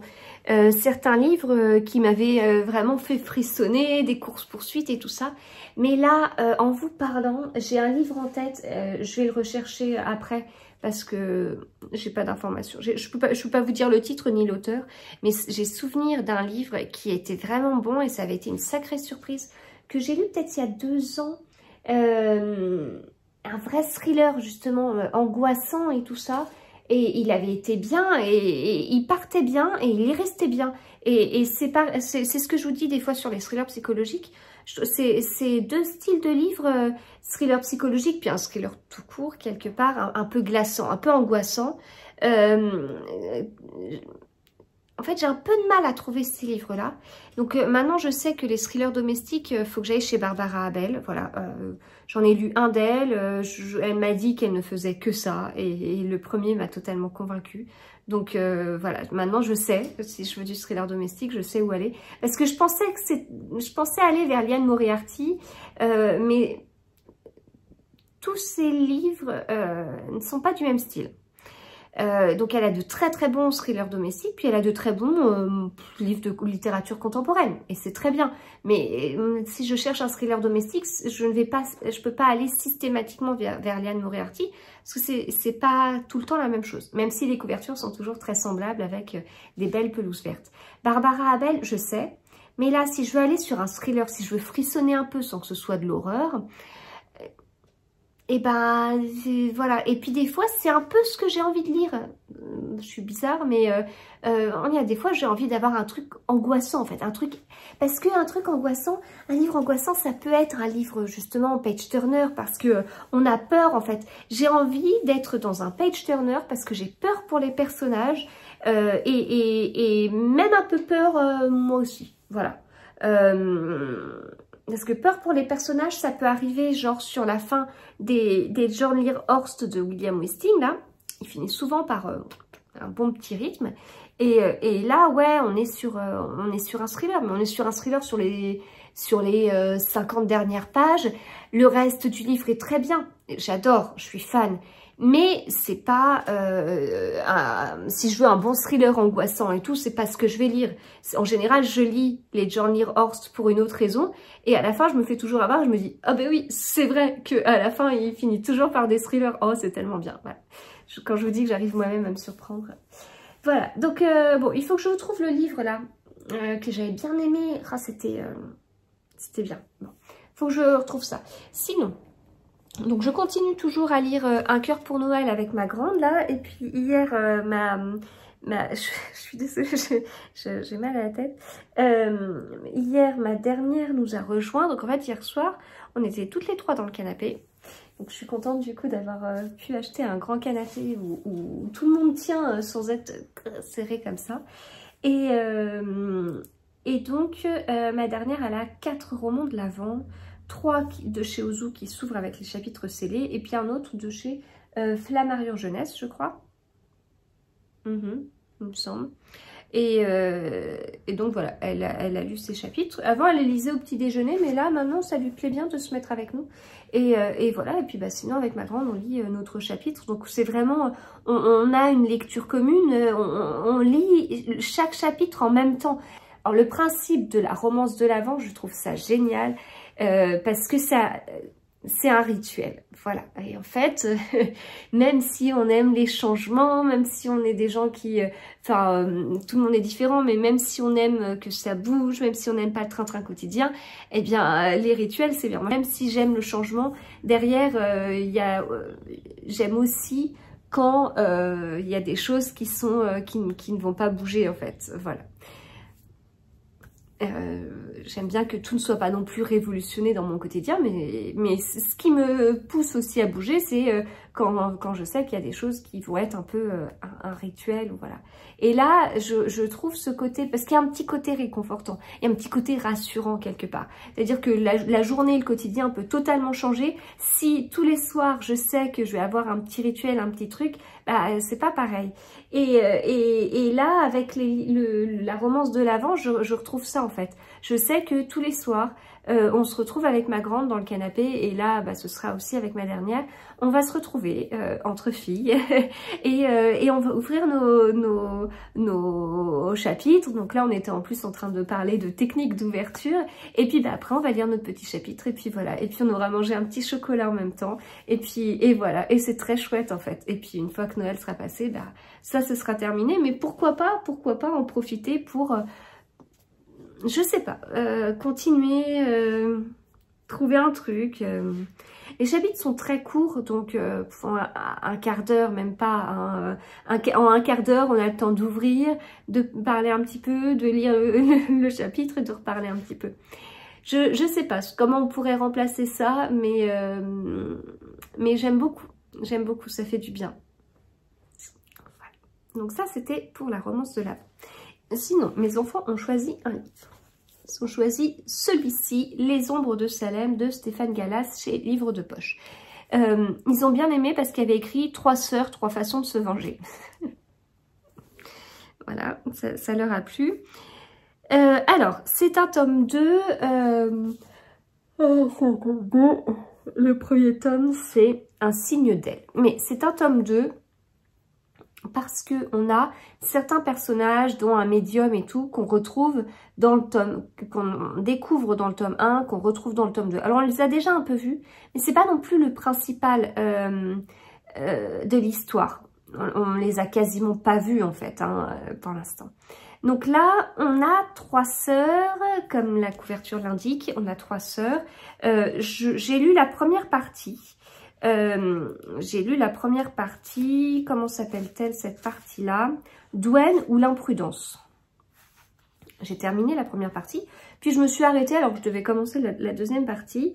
Euh, Diane ou la riposte, voilà. Donc j'imagine qu'on aura une troisième partie avec le troisième personnage, la troisième sœur. Trois sœurs dont les prénoms commencent par un D. On a Dwayne, on a Déborah et on a Diane. Euh, donc, comme on disait, on suit Dwayne au début. Elle est victime d'une agression. Euh, voilà. Euh, alors, comment vous dire les choses sans vous dire les choses? Parce qu'en fait, moi, je ne l'ai pas vu arriver parce que c'est écrit là, mais pas, je, ne lis pas la quatrième de couverture. En plus, Stéphane Gallas, je veux dire, j'avais tellement adoré le 1 que j'ai foncé. mais Bon, si, si euh, euh, les viols euh, dans les livres vous, vous dérangent, et voilà, enfin, si, si vraiment ça vous gêne, alors pour l'instant, je peux pas dire qu'il y a 50 000 détails, mais je peux, je sais pas, par la suite. Enfin, ouais, bah si quand même. Bon, voilà, faut le savoir. Faut savoir qu'il y a ce sujet-là. Euh, on a un côté surnaturel un peu plus prononcé dans ce livre que dans le précédent. Euh, qui dans le précédent, ça ne m'avait pas du tout dérangé. Euh, et enfin, non mais le premier, il était tellement génial. donc, bah, enfin, il était tellement génial que pour celui-ci, j'y vais les yeux fermés. Donc, ok, il y a du surnaturel, je m'en fiche, c'est pas trop mon truc. C'est pour ça que je dis ça. Je lis pas de, de science-fiction, de fantastique, de fantasy. C'est pas du tout ce que j'apprécie. Sinon, Sinon, vous seriez plus nombreux à regarder. Parce que ça a toujours beaucoup de succès. Non, mais c'est pas mon truc. Enfin, vous le savez, c'est pas, c'est pas ce que je lis. Et, euh, et, mais là, il y a des doses de surnaturel. Plus qu'au premier. Dans le premier, J'y étais allée, bon, c'était la découverte. Donc j'avais, je craignais un peu cette partie-là, mais tellement prise par l'histoire, ouais, il y avait des petites touches, mais globalement, moi, j'ai été satisfaite avec mon esprit carré, etc. Là, un peu plus de surnaturel. Autant dans le premier, euh, je m'étais dit, allez, je vais fermer la porte très vite. Je, euh, je m'étais dit que je pourrais peut-être trouver une explication rationnelle à tout ça. Là, j'en suis pas sûre. Et c'est pas grave, c'est pas grave. Enfin, j'ai bien lu Stephen King, euh, La ligne verte avec des doses de surnaturel. Ah, c'est pas grave, grave. Ça, il y a bien, euh, puis, enfin, je, crois que vous l'avais dit. Enfin, j'adorais euh, à une époque, j'avais toutes mes séries de vampires et tout ça que j'adorais. Enfin bref. Donc bon, pour l'instant, je, je, ferme pas la porte au surnaturel. Je je ne suis pas sûre qu'on ira vers une explication rationnelle, mais je, m'y attends et voilà. Et, euh, bon, donc mis à part ça, c'est extrêmement bien écrit. Euh, écrit à la première personne, bah, dans la première partie, on suivait donc euh, euh Dwayne. extrêmement bien écrit, elle nous parle. Mais vraiment, euh, c'est, euh, j'ai pas relevé le passage, mais à un moment, elle, euh, elle nous dit quelque chose, on a l'impression qu'elle, euh, qu'elle a du mal à s'exprimer, qu'elle reprend elle-même sa phrase, alors qu'en fait, au niveau de l'écriture, si l'auteur s'est trompé, il aurait pu supprimer la phrase et passer direct à celle d'après. Non, c'est volontaire en fait, parce que derrière, bah, ça met une relation particulière entre entre la, la, narratrice et nous, et ça rend le récit encore plus vivant. Mais c'est c'est vraiment un super auteur. Enfin, voilà. Et je sais qu'il aime bien manipuler son lecteur. Et je sais qu'il peut mettre des indices tout le long. Et c'est très perturbant. Parce qu'on est vraiment pris par le rythme de l'histoire. On ne sait pas trop où on va.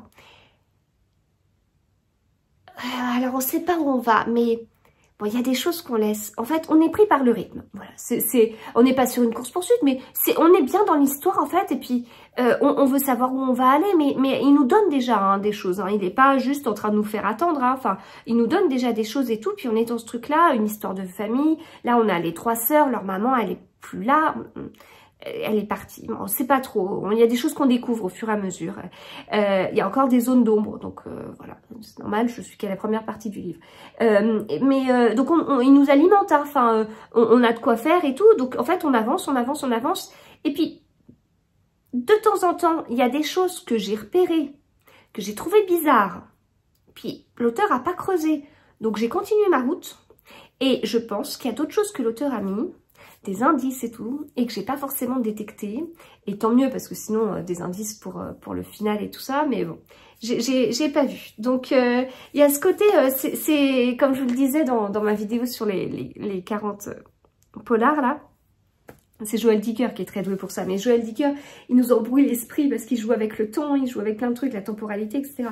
Là, non, mais on est dans cette histoire, on est dans cette histoire, il y a plusieurs histoires, mais on, va suivre ces trois enfants, en fait, ces trois ados, euh, euh, et euh, on ne sait pas trop où on va, mais il y a deux, trois petites choses où, bah déjà, cette agression, il y, a des, il y a des choses bizarres. Puis la dernière sœur, il y a un côté surnaturel. Puis la première sœur, on avait des zones d'ombre. La deuxième, on la suit, on la connaît un peu mieux. Euh, mais il y a des trucs, il y a le père, il y a des trucs bizarres aussi. Enfin, et on sait pas. Et puis je vous dis, tout ça, comme on sait pas, on, avance, on avance, on avance. Et, et, on va se faire avoir, on va se faire avoir. Très différent du premier et en même temps, on va retrouver un petit... Alors c'était un peu présent dans le premier, euh, euh, alors que là ça l'est davantage. On va retrouver ce côté, les ados, les jeunes adultes ensemble à l'école, au lycée, euh, etc., collège, bon, euh, post-bac, euh, pas toujours très... c'est des groupes de jeunes, il y a de l'influence, des, l'influence, ouais peut-être ça, l'influence des jeunes les uns sur les autres, que ce soit les copains, les petits copains, les... il, y a, il y a un peu ce, ce, sujet commun, on va dire. et ça se passe euh, aux États-Unis. Alors c'est marrant, là il y a une citation de Nice Matin. Préparez-vous à, frissonner en plein été? Ouais, enfin je lis pas en plein été et je le trouve très bien quand même. Il y a un côté Halloween, mais on s'en doute avec les ombres de Salem. Aura sûrement un petit côté sorcière. Sûrement, à moins que j'ai déjà vu deux, trois choses, à moins que ce soit déjà évoqué. Je ne sais pas, je dirais rien. Voilà. Bon, et eh ben c'était très bien. Et ah oui, je vous ai pas amené mon pull. Euh, peut faire un petit point tricot. Euh, j'ai fini le corps. Et je vais commencer les manches. Euh, je suis toujours très longue à tricoter les côtes et je suis encore plus longue à rabattre les mailles. Surtout que je tente un rabattage élastique, mais sur des côtes de deux et pas des côtes en mais la même technique. Bref, voilà. Donc rien de bien incroyable. Et peut-être ce que je porte, je peux vous en parler, si je me rappelle le nom de ce que je porte. Alors, c'est un design que j'ai créé, qui s'appelle le Miss Brown. Dans ce coloris très beau de l'atelier teinture en fil, en épaisseur pure déca. Voilà. Alors, bon, le truc, c'est que on va se suivre dans plein de vlogs et tout, et euh, euh, pas, je vais pas avoir un pull ou un gilet par jour pendant des semaines et des semaines. Certes, j'ai du choix, mais euh, il y a même si j'ai du choix, là on est à la période de Noël, j'aime bien quand même porter mes jacquards et donc je peux porter eh bien euh, euh, mes jacquards une semaine et puis euh, 7, 8, 9 jours après je reporte un de mes jacquards etc. Donc bon là je voulais éviter de faire ça parce que sinon je vais passer mon temps à vous dire euh, dans chaque vlogmas il y aura toujours les mêmes pulls etc. Je vous dirai toujours les mêmes choses mais bon, je vais pas m'interdire de porter euh, ce que j'ai envie de porter à cette période. Parce que là, je l'ai mis parce que je enfin, j'allais prendre un jacquard je me dis, oh, ouais, mais ça, j'en ai parlé il y a pas longtemps, je vais prendre autre chose. je prends celui-ci. Mais après, je vais reprendre mes, pulls en jacquard parce que c'est le mois de décembre et j'ai envie de les porter. Euh, c'est comme le pull que je portais hier avec les renards. Je vous l'avais montré il y a pas si longtemps. Voilà. Donc, euh, voilà. Écoutez, c'est un pull que j'aime bien avec ces motifs tulipes, mais ça, enfin, vraiment je me répète parce que j'ai dit il n'y a pas très longtemps. Euh, et puis ce point, c'est quoi? C'est du point de blé, du point de riz? C'est du penderie. C'est du penderie. Et derrière aussi. J'aime bien, j'aime bien les points texturés comme ça. Je suis très très fan. Et alors, ce que j'aime bien aussi, c'est qu'on est sur la même laine et que là, on est sur du jersey, donc le point le plus simple. Ici, on est sur du penderie, donc c'est une maille endroit, une maille envers, une maille endroit, une maille envers. Et euh, non. Je suis sur du point de riz brisé. Donc, maille endroit, maille envers, maille endroit, maille envers, rang 1, que des mailles endroits, puis maille envers, maille endroit. Donc on switch en fait. Maille, quand on avait une maille envers, au-dessus on fera une maille endroit. Quand on avait une maille endroit, au-dessus on fera une maille envers. Mais le au-dessus est séparé par des lignes de jersey en fait. Ce qui fait que c'est hyper fluide à tricoter. J'aime beaucoup. Et, et, ça rend une belle texture. Et ce qui est rigolo, c'est que même si c'est la même laine, eh bien elle rend très différemment oui, c'est français. Ça rend pas pareil. ça rend pas pareil euh, selon le point qui est fait. Et puis, bah alors là, avec le point comme ça de dentelle, euh, c'est encore plus différent euh, que, que le point texturé et que le point jersey tout simple. Voilà. Bon, eh bien, je vais vous chercher le livre qui fait un peu trembler, là, que j'avais bien aimé. Et puis, bah, doucement, petit à petit, on, finira, on clôturera ce vlog parce que euh, je suis trop bavarde et que ne faut pas que je dépasse trois jours de Vlogmas. Euh, déjà, le premier, il était trop long. Voilà, c'est encore moi. Alors, euh, j'ai trouvé le livre. J'ai trouvé le livre dont je voulais vous parler. il était bien, il était très très bien. Et donc, ça m'a fait me souvenir que j'ai un autre livre de cet auteur dans ma palle. Et ce serait bien que je le lise. alors, je sais plus pourquoi je l'avais reçu. Euh, c'est donc Je connais ton secret de S4 Main. Euh, parce que c'est un livre des presses de la cité qui n'était pas encore sorti en, poche. Euh, si, si, je crois me rappeler. Je crois me rappeler. je l'avais reçu par France Loisir, en fait. Si mes souvenirs sont bons. je faisais partie des top lecteurs France Loisir avant que ça s'arrête. la fille qui a la poisse.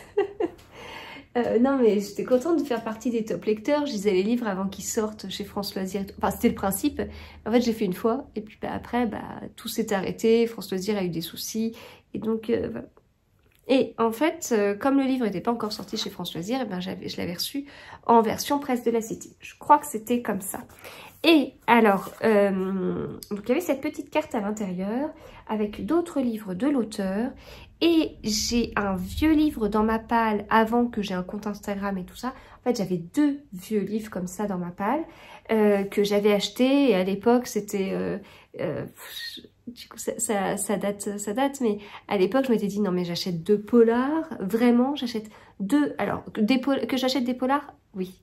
Mais que j'en achète deux en même temps au lieu d'en acheter un, et puis une fois que j'ai terminé, de me dire qu'est-ce que je vais lire, etc. Bon, euh, je trouvais que j'exagérais un petit peu d'en acheter deux en même temps, et, surtout que euh, je suis passée par la suite par une période où j'ai moins lu, certainement parce que les enfants étaient petits, ou voilà. Et donc, euh, ces deux livres ont traîné. Alors, il y avait Deux gouttes d'eau de Jacques Expert, et puis il y a ce livre, Le doute de S.K. Tremaine, là. Voilà. Alors, en toute, honnêteté, euh, quand il y a des livres comme ça qui traînent longtemps dans ma palle, alors avant, je les rangeais direct dans les bibliothèques. Et, euh, et, normalement, les bibliothèques, ce sont des livres lus. Et donc, dans mes bibliothèques, j'ai des livres que je n'ai jamais lus parce qu'ils traînaient longtemps dans ma palle et qu'à un moment donné, j'ai tellement déménagé depuis que je ne faisais plus la distinction. Et notamment des livres que j'avais achetés quand j'étais lycéenne ou lycéenne, ou étudiante. Ouais, lycéenne, je pense. Alors, dans cette catégorie-là, je dois avoir un ou deux Christian Bobin, un Annie Ernaux. Donc, on entend pas mal parler. Bah, J'en ai un, euh, mais que je n'avais jamais lu. Euh, et puis, est-ce que j'en ai, je dois peut-être en avoir d'autres, mais ceux-là me viennent, euh, me viennent en tête. Donc, c'est des livres que j'ai achetés il y a, il y a 20 ans, on va dire, un peu plus de 20 ans que je n'ai jamais lu. Voilà. Donc, celui-ci, eh bien, il me semble bien que j'avais mis dans, dans mes livres euh, lus, alors que parce que ça avait traîné trop, trop longtemps dans ma palle, puis j'avais pas une gestion de palle comme j'ai maintenant. Maintenant, c'est un peu n'importe quoi, mais Mais c'est géré, c'est sous contrôle. Voilà, je, sais, je, je, je, je, le gère, je le vois, je, voilà, c'est plus, j'ai industrialisé ça, quoi. J'ai professionnalisé toute cette partie. Bon, c'est c'est des, des, petites blagues que je peux faire avec mon mari. J'ai l'impression des fois d'avoir comme une petite entreprise et de gérer ça comme mais je suis toute seule. Bah, voilà, c'est un peu, bref, ça prend une ampleur euh, euh, au-delà de la passion, au-delà d'un côté amateur, mais c'est pas du tout mon travail. Donc, euh, donc du coup, bah, ce livre, quand j'ai lu celui-ci, eh bien j'ai sorti ce livre de, des livres lus pour le remettre dans ma palle pour qu'effectivement je le découvre. Euh, je vois le facteur qui met des choses. Il y a peut-être un livre. Euh, donc, ce livre était trop bien. Euh, alors, si je vous lis juste la quatrième, récemment divorcée et financièrement aux abois, Joe Ferguson, journaliste indépendante, trouve, trouve refuge dans l'appartement de sa meilleure amie à Londres. L'endroit, luxueux, est à la pointe en matière de domotique. Des équipements ultra-modernes permettent d'y contrôler l'éclairage, le chauffage, les serrures et sont même capables de faire la conversation au plus solitaire. Bien qu'elle déplore l'impact de ces accessoires, Joe s'amuse à leur parler. Jusqu'à ce qu'un de ses assistants virtuels, Electra, menace de révéler à la police un terrible secret enfoui dans son passé. Paniquée, la jeune femme tente alors de découvrir qui se cache derrière son maître chanteur. L'intelligence artificielle a-t-elle pris vie ou Joe est-elle en train de, sombrer dans la folie comme son père avant elle? Et il était vraiment, mais ouais, c'est mis thriller psychologique oppressant, mais tellement. Et, et, alors là, donc il y avait beaucoup de nouvelles technologies, mais et, et je l'ai lu, euh, je, l'ai retrouvé sur Babelio en fait. Euh, je l'ai lu en octobre 2021. Mmh. J'ai lu en octobre 2021. Et je je vous ai dit l'année dernière, en juillet 2022, que Ego de Maxime Girardot, c'était le premier livre que je lisais avec euh, des nouvelles technologies et tout. Euh, le premier policier. Ben oui, c'est le cas parce qu'on est vraiment sur une enquête avec Maxime Girardot. On est vraiment avec des gens qui vont nous parler des nouvelles technologies, du bien, du pas bien, etc.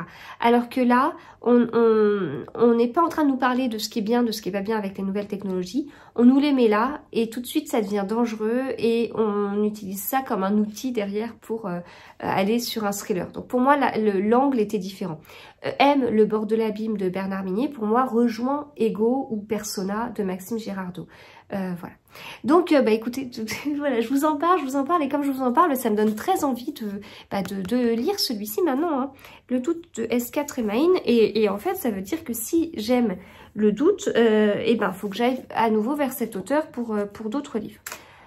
Je n'ai pas assez de, temps pour lire tout ce que j'aimerais. Voilà, écoutez, on va s'arrêter là. On va s'arrêter là. Je m'excuse pour mon état. Euh, voilà, j'ai vraiment mal à la gorge. Euh, je, suis désolée euh, de, de, ça. Et puis bah du coup, j'étais en télétravail sur ce début de semaine, ce qui était pas si mal au final. Demain, je vais devoir aller sur place. je ne sais pas comment. donc... donc j'ai pas beaucoup bougé, vous m'avez vu que chez moi, je suis pas sortie. Euh, je suis pas sortie. Et puis mon mari avait des, grosses réunions les soirs. C'est des choses que je vous dis pas, mais euh, euh bah, du coup, euh, bon, c'est arrangé d'une certaine façon, mais les journées étaient, étaient un peu longues. J'espère que ce vlogmas vous a plu. je le termine le jour où le premier est en ligne. donc je vous avais parlé d'éventuels petits ajustements. Je m'occuperai de tout ça pour le Vlogmas 3. Euh, bon, j'espère que ça vous a plu quand même. Désolée du coup de, de mon état. Et euh, j'espère que vous avez quand même pris quelques informations. Vous avez quand même eu deux trois informations sur, sur des livres euh, ou sur, sur du tricot. Et, et puis, bah écoutez, on se retrouve, on se retrouve demain. à bientôt.